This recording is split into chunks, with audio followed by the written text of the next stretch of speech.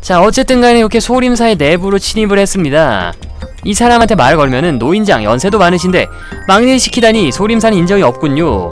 소림사에 숨은 고인이 많아 청소한 노승이 무공의 고수일지도 모르는 일이지. 난 나이가 많지만 아직 녹슬지 않았어. 다만 기억력이 약하지. 내가 하는 얘기를 다른 사람에게 하지 말게.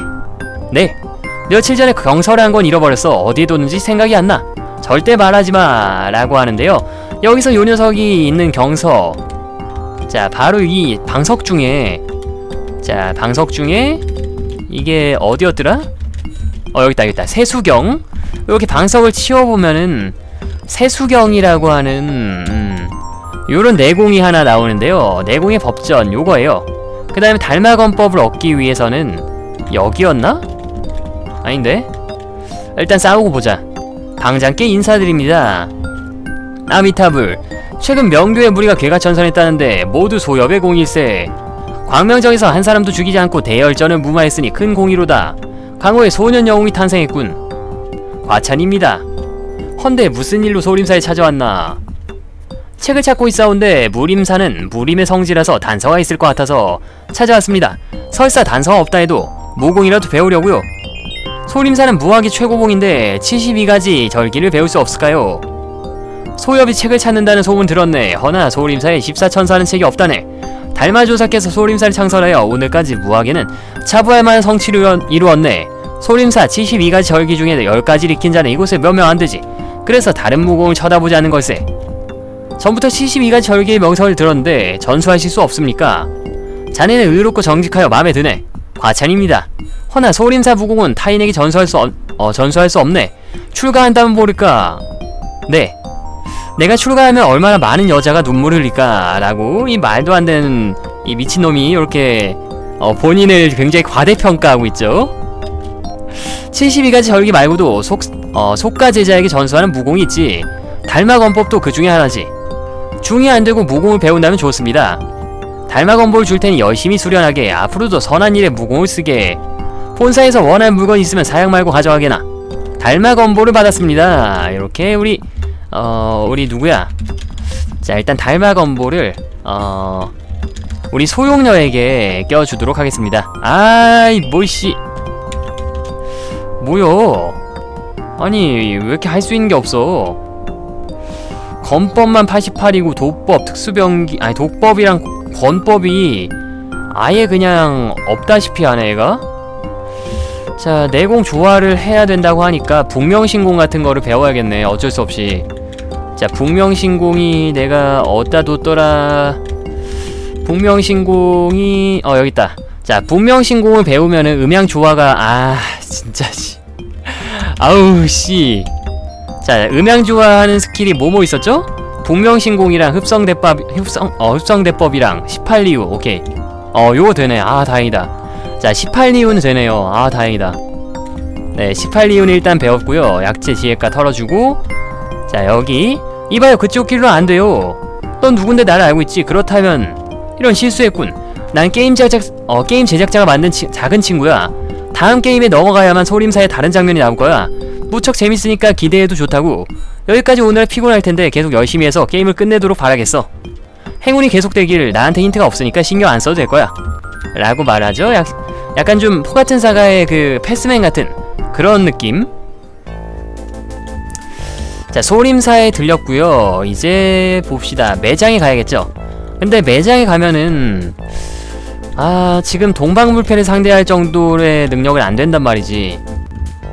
음 모르겠다. 일단 매장에 가서 임아행이나 만납시다. 동방불패 퀘스트를 일단 더 해야 되니까. 파워치킨님 어서오세요 네 안에 구양봉이 있음 과연 그럴까요?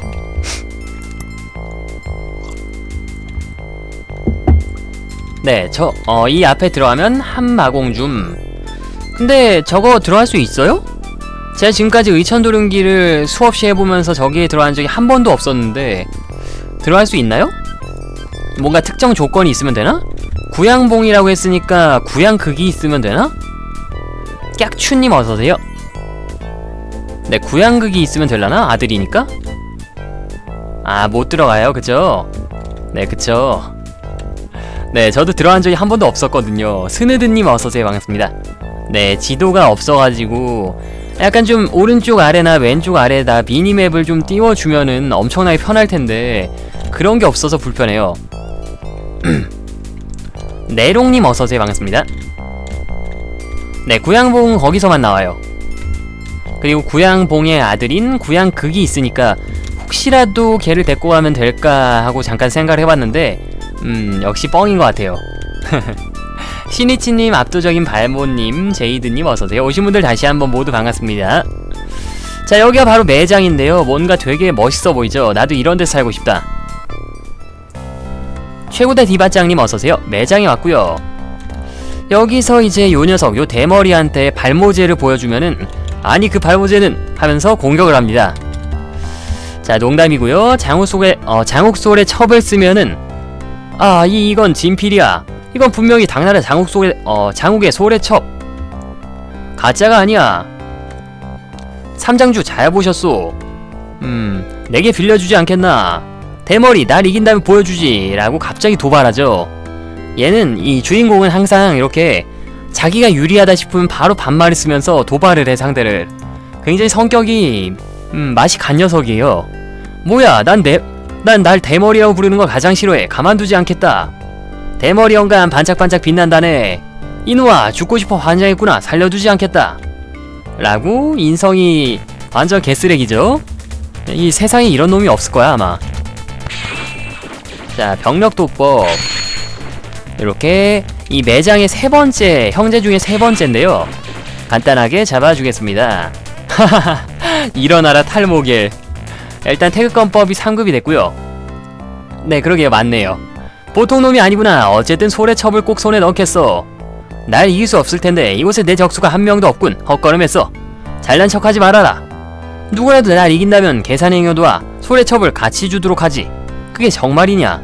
라고 난 거짓말하지 않아 좋다 사제. 둘째 형님을 불러오자. 이렇게 요런 식으로 얘네 네 형제들은 한 마리를 한 명을 이길 때마다 꼭 지면은 형을 부르러 가요 이렇게. 자 다음은 요 녀석이에요. 형님 이 예송이가 소라를 부렸어요. 복수를 해주세요. 이 젊은인 정의롭게 생겼군. 소라를 부릴 자가 아니다. 이장주 고마소. 형님 속으면 안돼요. 우리들을 무시했어. 됐다 들키 싫다. 소엽 그만 갈 길을 가시오. 라고 하는데 요 녀석도 다른 도발템으로 요거죠 유중보구혈기보라는 아이템이 있는데 딱 봐도 요 녀석은 바둑을 좋아하게 생겼잖아요 이, 이건 오래전에 기왕이라 불리던 유중포는 산속에 사는 시골 노인에게 대패하여 피를 쏟았더군. 그 후 그 기서를 구열보라 불렀소. 라고 하는데 산속에서 사는 시골 노인이라고 하는 게 딱 봐도 누군지 알겠죠? 이건 전설일 뿐인데 실제로 존재할 뿐이야. 아 존재할 줄이야. 소엽 그 책을 빌려줄 수 있겠소. 하하하. 이 구열기보는 천신만고 끝에 구한 거라 천금을 내놔도 안 돼요. 라고 하는데 요거 사실 도둑질한 거죠 그냥. 그냥 남의 집에 가가지고 도둑질해 온 건데 이렇게 어 자기가 천신만고 끝에 구했다 라고 말도 안 되는 허세를 부리죠. 보세요, 우리 매장을 완전히 깔보고 있어요. 우리가 계속 졌기 때문에 아나 무인이라고요. 권주를 거절하고 어 거절하고 벌주를 마시겠다니 난 원하는 건 반드시 갖는다. 순순히 내놓, 내놓도록 해라. 여러 말 하지 말아요. 우리 셋이서 공격하면 못 도망쳐요. 명성이 자자한 매장이 소인배들의 도굴이라니 정말 실망했군. 아 모용봉 그러네. 사지들 매장의 명성을 더럽힐 수 없다. 내가 상대하겠다. 네 고대 바둑기사. 고대. 스타하는 중님 어서오세요. 반갑습니다. 자 일단 빠져서 대기 한번 탑시다. 요 녀석은 그래도 체력이 좀 있으니까 여기서 병력도법. 한발. 멋지다. 두발 고대 알파고 고려대학교에서 만든 알파고인가? 이렇게 마무리를 하겠습니다. 굉장히 쉬운 녀석들이죠. 자, 병력도법이 10급이 된 후부터 굉장히 데미지가 잘 나오기 때문에 전투가 좀 쉬워졌죠. 너무 싱겁군. 넌 내 적수가 안된다. 큰 장주의 실력은 어떨지. 큰 장주를 불러와라. 꼼짝 말고 있어라. 라고 이렇게 또 형한테 이르러 갔죠. 어... 큰 장주에게 이르러 갔는데요. 초당 듀브님 어서오세요. 리하이어. 여기서 보면은 이렇게 제일 형이 있어요. 위엄스러운 왕자 품격이 흐르는 걸 보니 귀하가 큰 장주군요. 바로 노부요. 매장에 무슨 일로 왕림하셨소? 이곳에 고수들이 은닉해 있다는 소문을 듣고 호기심이 생겨서 온 거요.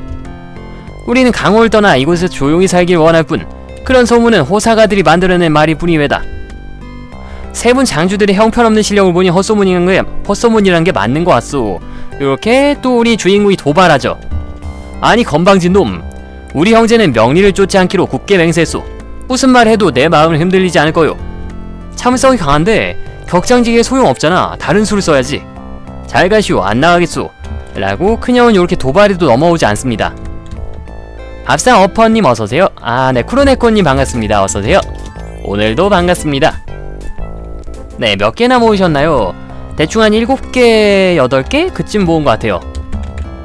자, 여기다가 이제 요 녀석이 좋아할 거를 보여주면은 자, 보시면 이렇게 뭔가 음, 음악을 좋아한다, 음을 사랑한다, 요런 걸 알 수 있는 그런 부분이잖아요.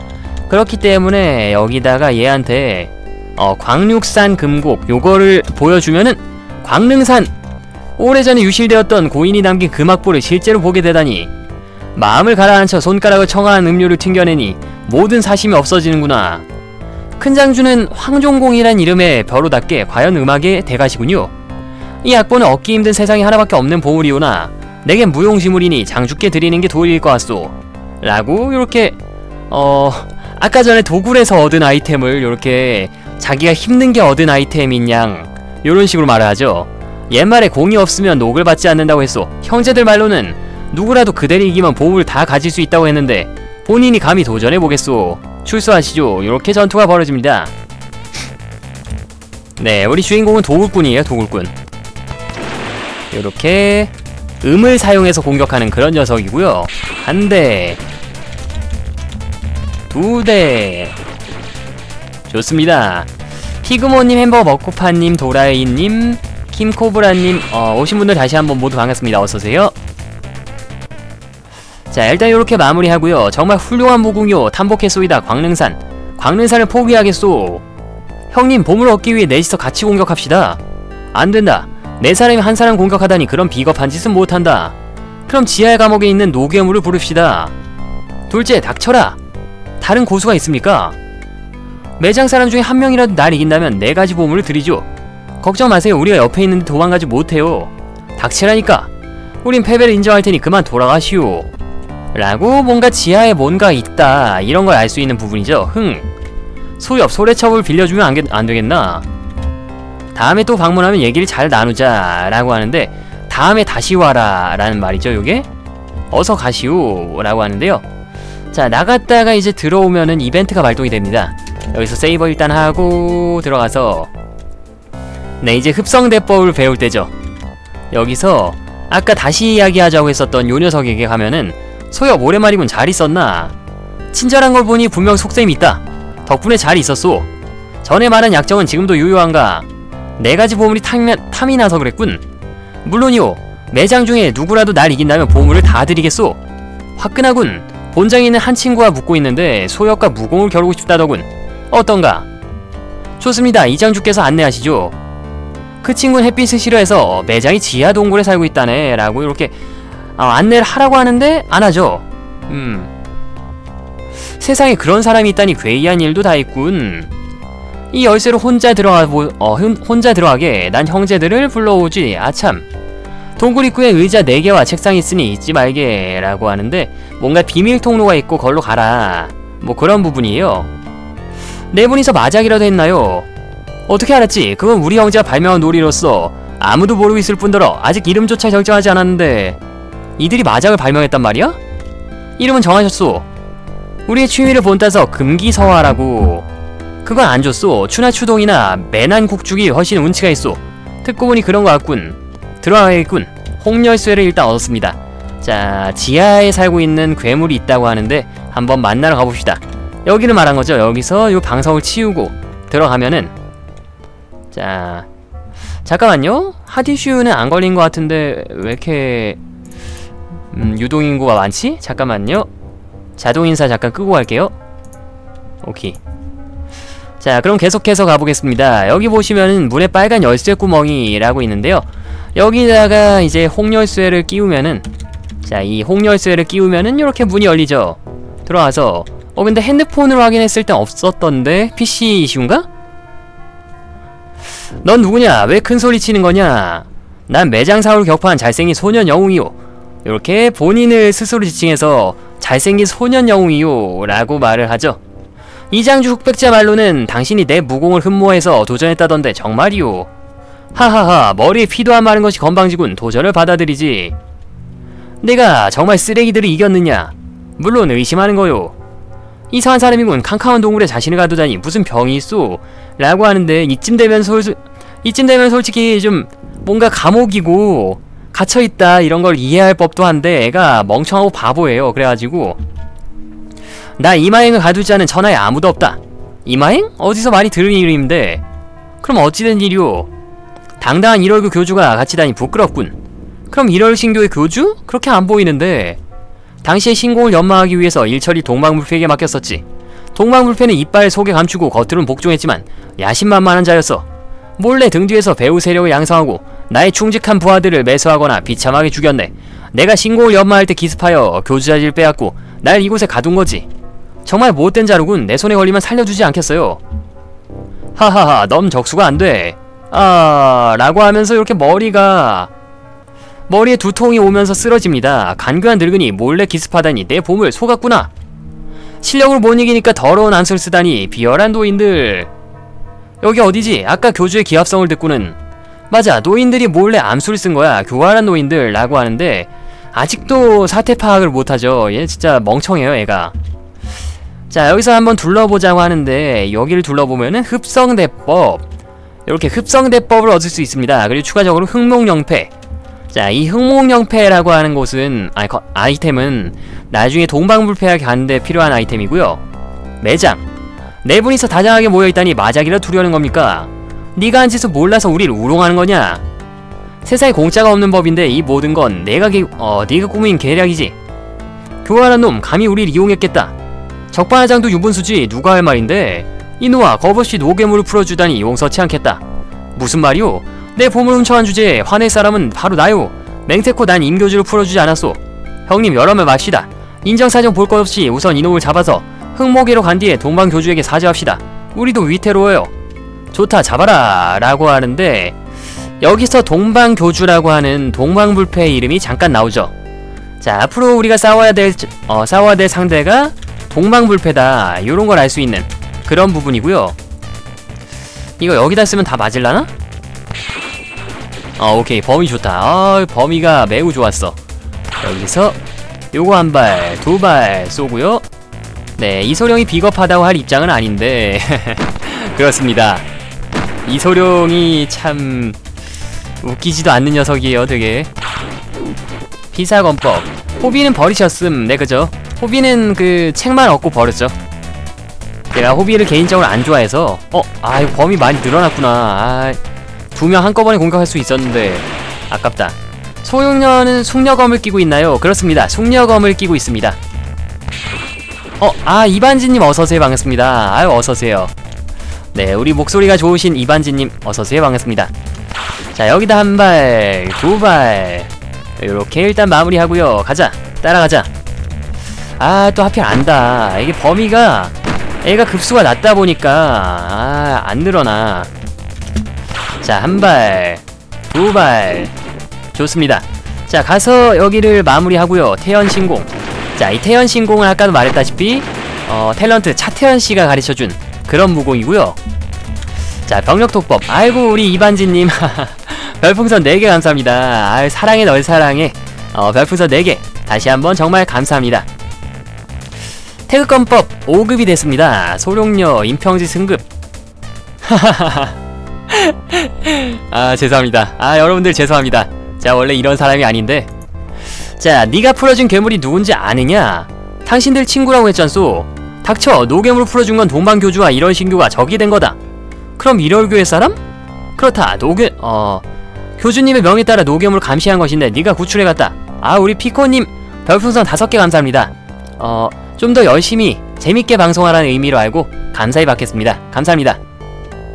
어, 속히 흑모계로 가서 교주님께 알립시다. 어서 가요. 라고 흑모계로 가자 요런 말 남기고 갔는데요 자 이제 동방불패랑 싸울 텐데 아 동방불패를 이길 수가 없을 것 같단 말이지 아무래도. 음 네 주인공의 이름이 원래 뭐예요? 아 온 김에 연성결 얻자. 주인공의 이름은 이소룡 맞아요. 아 원래 그 의천도룡기의 주인공을 말씀하시는 거라면은 장본기가 맞는데 요 게임 같은 경우는 자 일단 요 이벤트부터. 언영 명문 정파인 골륜파도 연성열 노리는 줄 몰랐군. 흥 보물은 누구나 탐나는 법. 여기 있는 공동파, 태산파, 청성파 여러 고수들도 나와 같은 생각일 거다. 라고 하는데 원래 이런 애들이 다 그 뭐라 해야 돼? 음, 약간 네임드급 캐릭터가 나와야 될 텐데 참 불쌍해 얘네들도. 각 파의 고수들인데 너무 이렇게 그냥 일반 NPC들이랑 똑같이 생겨가지고 불쌍해 자 어쨌든 간에 아까 하던 얘기를 잠깐 다시 하자면은 요 게임은 어떤 식의 게임이냐면은 어 김용씨가 쓴 소설 14권 있잖아요 어... 어, 연성결, 협객행, 신조염려, 비호외전, 설산비호, 녹정기, 서검은구록, 사조영웅전, 의천도릉기, 천용팔부, 소호강호, 원앙도, 백혈검, 그리고 백마소서풍 이렇게 14권의 책이 다 짬뽕이 돼 있어요. 모든 책의 내용이 다 나오고 그 다음에 그 무협소설에 등장하는 모든 무공이 다 나와요. 그 다음에 그 무협소설에 등장하는 모든 주인공들이 다 나오고 어, 그렇기 때문에 게임이 굉장히 섞여있는 그런 게임이라 볼 수 있고요. 그 다음에 요 게임의 내용에 대해서 잠깐 설명을 하자면은 아, 아, 네, 죄송합니다. 자, 유튜브 업로드를 계속 못하고 있어가지고 아, 최대한 빨리 하겠습니다. 죄송합니다. 자, 어쨌든 간에 어, 주인공이 현대시, 현대시대에서 컴퓨터 게임을 하고 있었는데 컴퓨터 게임으로 의천도룡기 외전이라는 게임을 하고 있었는데 어느 날 자고 일어나 보니까 눈을 뜨니까 사실 자기가 그 게임 세상 속에 들어와 있는 거예요. 그래가지고 그 게임 세상 속에서 탈출을 하기 위해서 뭔가 탈출하기 위한 힌트라던가 어 그렇죠 이곡갱 어 뭔가 무공이라던가 그런 걸 익히면서 진행을 하는 그런 게임인데 음쭉 지내다 보니까 탈출하기 위해서는 김용의 칩사천서라고 하는 14권의 책을 얻어야만 탈출할 수 있다. 뭐 요런 걸 깨닫고 무공책을 얻, 어 아니 무공책이 아니지. 음 그 14권의 책을 얻기 위해서 모험을 하는 뭐 그런 스토리라 볼 수 있습니다. 자 올라가고요. 네. 아 쉽게 설명하는 방송이요? 안 그래도 제가 그 초보자를 위해서 입문자를 위해서 영상을 하나 만들어 놨어요 그 제 유튜브에 가보시면은 거기에 입문자를 위한 영상 뭐 요런 게 있을 거예요. 그거 보시면 좀 더 이해하기가 쉬우실 거예요. 자 여기다 한 발 두발. 그래요? 어쨌든 간에 어, 대충 그런 게임이라 보시면 될 것 같습니다. 마무리! 네. 아 그걸 봐도 한 번도 안 해봐서 이해가 안 된다고 하면은 직접 해보시면서 깨우치는 게 더 빠를 거예요 아마 그거는 안 해봐서 모르는 거니까. 자 가서 여기 뒤 자 여기 있다. 연성결로 인해서 사람들의 추악한 어 추악한 얼굴을 알 수 있었다. 라고 하는데 주인공이 훨씬 더 추악하죠 사실. 요렇게 얻어주고요. 그 다음에 매장 끝났으니까 어, 동방불패에게 가자 이제. 동방불패에게 가자. 평일엔 히어로즈 마이템 매직 한다고 하면서 네? 그게 무슨 말씀이죠? 저는 Heroes of Might and Magic을 주말에만 1년 반 이상 동안 주말에만 쭉 해왔는데 네 아마 반대로 하시는 것 같은데요. 저는 평일에는 고전 RPG 게임 방송을 하고요. 주말에만 Heroes 방송을 해요. 네 토요일과 일요일. 네 그렇습니다. 어, Heroes 3 방송을 좋아하시는 분들은 주말에 어, 토요일과 일요일에 찾아와 주시면 감사하겠습니다 네 잘못 알고 있으셨나 보네. 일단 여기서 흑목애로 가려면은 쭉 위로 올라가다가 근데 지금 안 간 곳이 좀 있는 것 같은데 어디를 안 갔지 내가? 자 어쨌든 간에 현재 시간 11시 47분인데요. 어 재밌게들 보고 계시다면 up 버튼과 어, 즐겨찾기 버튼 한 번씩 눌러주시면 감사하겠습니다. 아네 폰으로도 할 수 있어요. 그 도스박스 에뮬이 있기 때문에 네. 불금인데 히어로즈 아시죠? 아... 어 흑모계가 이쯤에 있었어 있었던 것 같은데 어디 갔지? 흑모계 흑모계 아 여기다 여기다. 여기 있다 여기 있다 여기 있다. 자 세이브하고요 일단. 네 진짜 이렇게 만들고 공략 없이 어떻게 하라는 건지. 아 근데 고전 게임은 또 그게 묘미죠. 뭔가 삽질해가면서 찾는 거. 막 길 찾고 미로 풀고 퍼즐 풀고 어 흑목에 왔고요. 여기서 흑목 영패라고 하는 걸 가리 어, 보여주면은 이 안에 들어갈 수 있게 해줘요. 요거. 흑목 안 통과 가능. 동방 교주께 보고 드릴 게 있어 여기 흑목, 흑목 영패도 가지고 있잖소. 라고 진행할 수 있는데 자 아까도 말했다시피 이 게임에서 등장하는 모든 캐릭터들 중에 동방불패가 진짜 넘사벽급으로 세기 때문에 지금 상황에서 아마 못 잡을 거예요. 그래서 이걸 이길 수 있을지 모르겠는데 일단 한번 덤벼봅시다 네 환세치호전이나 환상서유기 둘 다 방송을 했었어요. 이자 동방불패 여자 같은데 설마 이놈아 묵은 빚을 안 갚았는데 무슨 염치로 왔냐? 네 분께선 잘 계셨소. 마작 기술이 늘었는지 모르겠군. 흥 네가 이마행을 구한 애송이구나. 얼마나 잘생겼는지 보고 싶었는데. 마침 잘 왔다 라고 하죠. 자 그 영화 중에 동방불패라고 하는 영화 있잖아요. 거기서의 동방불패를 생각하신 분들은 아마 이 얼굴을 보면서 경악을 하실 거예요. 네 남잔지 여잔지 괴물인지 아저씨인지 할머니인지 구별도 안 되는 그런 얼굴이죠. 평범한 얼굴이야. 사랑스러운 동생 연재보다 훨씬 못생겼구나. 네 그렇죠. 임청아 임청아씨. 에이즈를 조심하라고. 황종공 죄인을 잘 감시하라고 했거늘 마작이나 노, 어, 마작이나 하고 놀았단 말이오. 죽을 죄를 졌습니다. 용서하소서. 우리 형제가 금기서화에 심취한 탓에 교활한 이자 농간에 그만 넘어가고 말았습니다. 교주님은 현명하신 분이니 저놈을 잡아서 죄를 대신하게 해주옵소서. 뭐가 현명한 교주야? 동방불패는 중성이다. 라고 동방불패는 사실 그 규화보전이란 무공을 익히기 위해서 거세를 했어요. 그러니까 남성의 그 소중한 부분을 잘라버렸어요. 그렇기 때문에 이마행이 나오면서 그걸 말해주는 거죠. 노인장 왜 정정당당히 겨루지 않고 날 기습했소 소영재 고맙네. 자네의 도움이 없었다면 탈출하지 못했을 거야. 소우강호 책을 취하러 왔지 보답하는 뜻에서 도와주겠네. 누구시오? 내 정체는 동방불패에게 물어보게. 동방불패 교화보전을 완성한 걸 축하한다. 임교주 교화보전 당신이 전수해준 것이니 고마움을 잊지 않겠소. 이 노인이 1월 신교의 전교주구나. 고맙다는 인사가 날 어두운 지하 동굴에 가둔 것이냐. 목숨은 살려주지 않았소. 내가 물을 주지 말라고 명했다면 여태 살 수 없었을 거요 잘 대접해서 고맙다는 걸 어, 고맙다는 절이라도 할까? 그렇소 옛말에도 하늘엔 천당이 있듯 지상에는 항주가 있더겠소. 절경이 뛰어난 항주에서 말년을 보내겠으니 고맙지 않소. 서호 바닥에서 말년을 보내게 주어 눈물나게 고맙구나. 임교주 당신이 해준 일은 평생 잊지 않겠소. 날 중용하여 승진시킨 일도 본교의 보물인 교화보전을 전수한 일도 영원히 기억하리다. 이렇게 고맙다고는 일단 하는데 음, 당신의 어, 당신의 충신을 제거한 뒤에 교주직에 올랐소 이렇게 이 동방불패 같은 경우도 1월 신규의 교주 자리에 오르기 위해서 굉장히 많은 시간을 들여서 음, 음모를 꾸미고 이런 식으로 올라온 거죠. 인생의 중요함을 깨닫고 만물의 이치를 알았소. 지금의 난 아리따고 젊은 여인이 부럽다오. 그렇게 될 수만 있다면 교주가 아니라 천자라도 사양하리다. 남자도 여자도 아닌 괴물이 됐군. 닥쳐. 이렇게 거세하고 나서 뭔가 아리따운 거를 그러니까 뭔가 미를 계속해서 추구하게 된 이상한 녀석이 된 거죠. 어쨌든 간에 동방불패와 전투가 벌어집니다. 자 일단 빠져서 대기 한번 타고 자 여기서 기다리자. 저 동방불패란 녀석이 너무 세기 때문에 뒤로 빠져서 음 전열을 가듬자.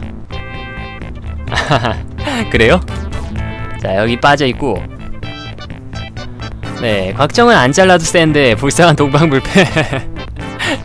아 근데 아까도 말했다시피 이 게임 상에서 등장하는 모든 캐릭터 중에 동방불패가 제일 세요.